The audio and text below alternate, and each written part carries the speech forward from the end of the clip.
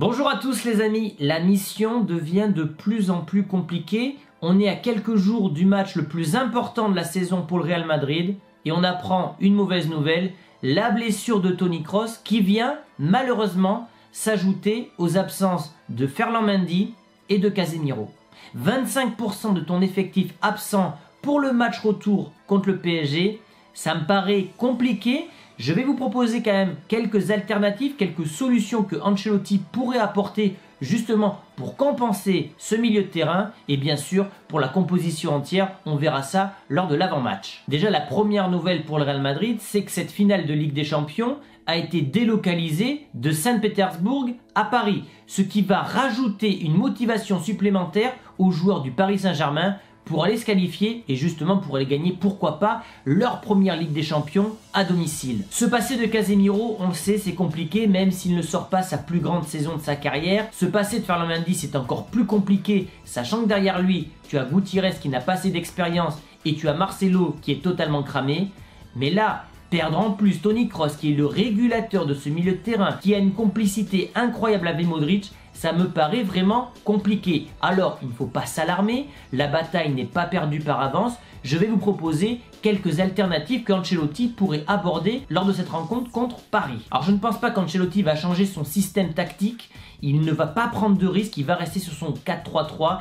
Il s'est déjà trompé au match aller, il ne prendra pas un risque énorme au match retour. On peut donc quasiment être sûr que ce 4-3-3 sera reconduit contre Paris mercredi prochain. Alors, en sentinelle, tu n'as pas plusieurs joueurs, tu en as que deux qui peuvent remplacer Casemiro. Tu as soit Kamavinga ou tu as soit Ceballos. À ce poste-là, je pense quand même que Kamavinga a une longueur d'avance parce qu'il a plus de repères, plus de minutes de jeu que l'Espagnol qui a eu une grave blessure pendant plusieurs mois. Partons sur le principe que Kamavinga puisse jouer à ce poste-là. Kamavinga a une qualité balle au pied qui est juste exceptionnelle. Cependant, et c'est la grosse frayeur d'Ancelotti, le jeu sans ballon de Kamavinga est parfois assez douteux, il provoque beaucoup de fautes et va récolter régulièrement des cartons jaunes. Si Kamavinga venait à prendre un jaune dans les 25-30 premières minutes, ça pourrait influer sur le reste de la rencontre. Pour remplacer Tony Kroos, ça sera évidemment l'Uruguayen Valverde, donc le milieu de terrain auquel on peut s'attendre mercredi prochain serait donc Kamavinga. Valverde pour apporter ce côté physique qui permettrait peut-être de bousculer ce milieu de terrain parisien. Il va apporter ce côté box-to-box, cette intensité, cette verticalité qui a tant manqué au match aller. Et enfin Luka Modric pour réguler tout ça. Maintenant, Carlo Ancelotti peut jouer à trois milieux de terrain, mais non pas avec une pointe basse comme Kamavinga, mais une pointe haute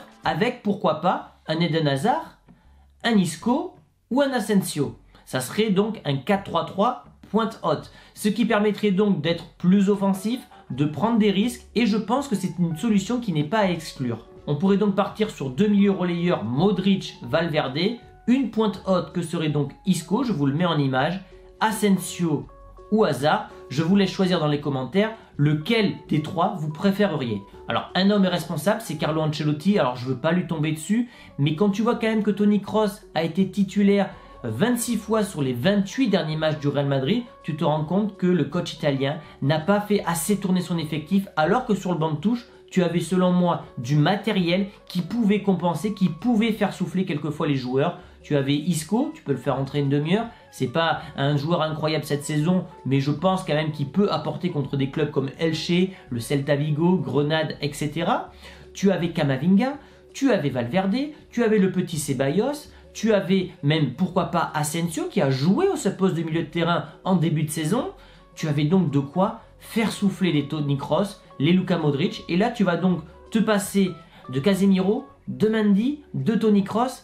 Ça va être quand même compliqué. Alors, je ne dis pas que le Real est d'ores et déjà éliminé, mais tu pars quand même avec des cartouches en moins pour aller sortir ce PSG qui sera ben, encore une fois, plus motivé que jamais pour éliminer ce Real, parce qu'ils savent qu'au bout, tu as la finale à domicile. Et donc on reviendra lundi prochain sur cet avant-match. Je vous dévoilerai également ma composition et évidemment en fin de vidéo mon pronostic. N'hésitez pas à me faire part de votre sentiment quant à la blessure de Tony Kroos et quel joueur devrait remplacer l'Allemand selon vous. Merci à tous les amis et je vous dis à demain pour l'avant-match Real Madrid-Real Sociedad.